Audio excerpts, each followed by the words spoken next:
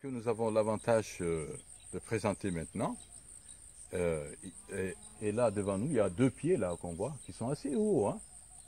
Il s'agit de Sterculia setigea. Alors, c'est un arbre euh, que l'on trouve hein, un peu partout en Afrique intertropicale, en climat euh, sahélo-soudanien jusqu'en en climat de type guinéen, et qui semble euh, aimer pousser dans des sols, euh, sur des sols assez rocailleux quand même, assez, assez durs. Même si ici, bon, on voit que ces deux pieds se sont accommodés plutôt dans sol euh, plus ou moins sablonneux, argileux. hein. Donc c'est cet arbre qui atteint facilement 12 mètres de haut, hein, hein, qu'on va décrire maintenant dans ses caractéristiques et aussi qui trouve des usages multiples dans nos contrées ici.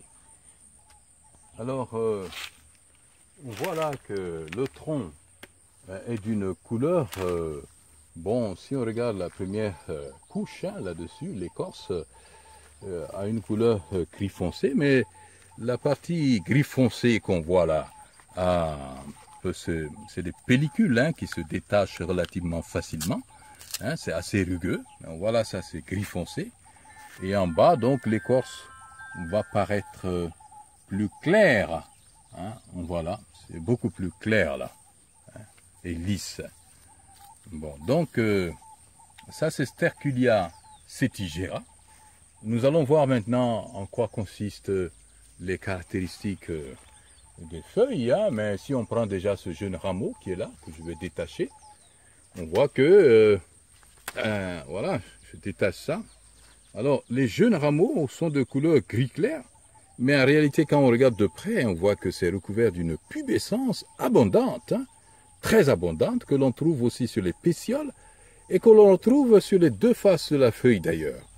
La feuille qui paraît euh, sous une forme cordée à sa base ici. hein. C'est un peu comme si on avait euh, attaché, euh, bon, grosso modo, ça a la forme d'un cœur, bien sûr, mais quand on regarde ici, on voit que c'est un peu étiré, comme si on avait accroché avec un- une ficelle là. hein. Il y a certaines plantes qui, sont, qui ont des feuilles comme ça, et, comme, comme on avait tiré vers le haut.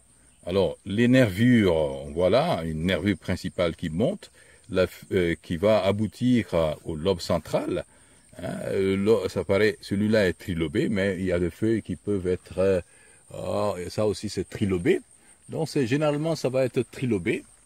Hein, un, deux, trois, trois lobes essentiellement sur les feuilles.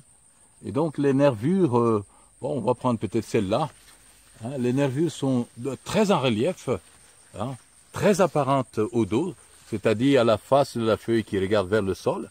Euh, les nervures essentiellement donc euh, qui forment la feuille vont être là une, deux, trois, quatre, cinq nervures. Euh, et puis il y a des nervures plus, plus secondaires ou tertiaires qui s'en vont, qui sont plus évanescentes. Et là, si on regarde sur la face supérieure, elles sont encore très visibles. Hein. C'est pas autant en relief que, que vers le sol, mais c'est encore très visible. Et le lobe central, bien entendu, est plus long que les deux autres lobes.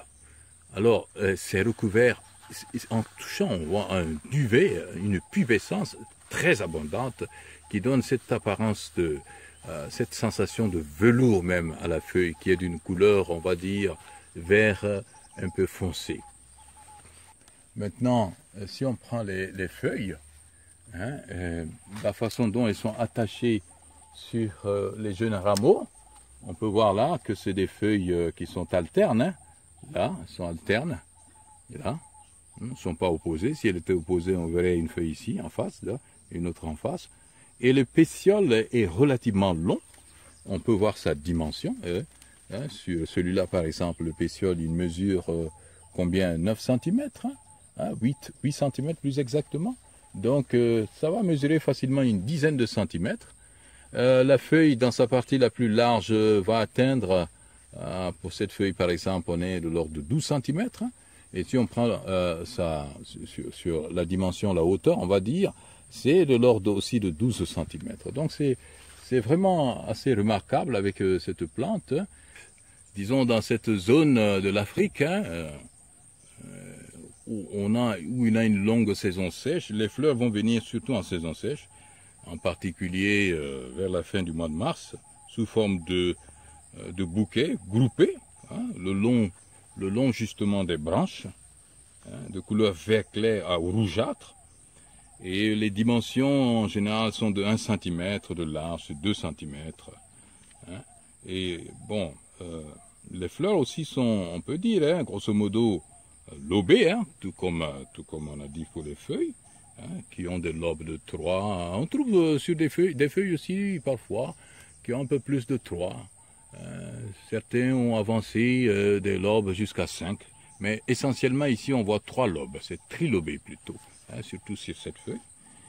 Et donc, ces fleurs contenant les étabines, et puis euh, bien sûr l'ovaire, vont se développer un peu plus tard pour donner. Heureusement, sur ce pied, on peut voir qu'il y a déjà des fruits. Hein. Alors, en mettant cette tige de Simon Pogon giganteus, hein, voilà, euh, vous pouvez voir là au fond, en haut, hein, une fleur euh, sous forme d'étoile à cinq branches d'ailleurs. Donc, ce qu'on avait dit, les fleurs se présentent sous forme de lobe et on voit les fruits qui viennent sous forme lobée aussi les fruits. Voilà un, fruit ici. Un autre qui a perdu manifestement ici euh, euh, quelques, lobes. Hein. Alors on voit là bien sûr euh, un fruit hein, qui, n'est pas mûr. C'est sous forme d'étoile. Celui-là, disons, en quatre branches, tandis que tout à l'heure en haut, le fruit qu'on voyait, il a plutôt cinq, cinq lobes. Et euh, on peut voir les dimensions. Hein. Bon, c'est encore de couleur euh, verdâtre. Et en maturité, les fruits vont, euh, vont avoir, disons, une couleur, on va dire, hein, une couleur brune claire. Et c'est assez velouteux, ce qu'on peut voir d'ailleurs ici. Hein. hein. il y a assez de poils, c'est toujours pubescent. C'est une plante, hein, c'est un arbre à pubescence euh, euh, euh, vraiment quasi uniforme sur tous ces éléments. Et donc, ce fruit, bon, on peut donner ses dimensions sous forme d'étoile. Il y a un, de lobe qui s'est cassé ici. Mais celui, celui-là, déjà, on va voir la dimension. Là, ça, le lobe peut aller jusqu'à, disons, combien? 7 cm hein, 7 cm. Sur une largeur, dans sa plus grande partie, de l'ordre de 2,5 cm. Alors, lorsque les fruits arrivent à, maturité, ils, vont s'ouvrir suivant euh, cette, euh, cette suture longitudinale. Alors ça, c'est pas vraiment mûr, mais euh, ce qu'on va constater en général à l'intérieur, hein, c'est la présence de 12 graines.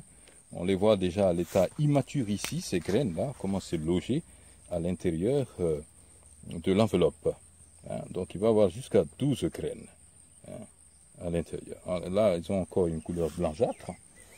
Voilà, donc euh, c'est ça cette euh, merveilleuse plante que euh, qu'est Sterculia cetigera. Et bien entendu, les populations locales ont différents noms pour cette plante et différents usages. Bon, Sterculia cetigera est appelé, par exemple, chez les Malinqués du Mali, Corofogo, Hein, ou Coronfogo, ça dépend de la prononciation. on va retrouver ça un peu partout, hein, chez euh, les malinqués de la Guinée aussi.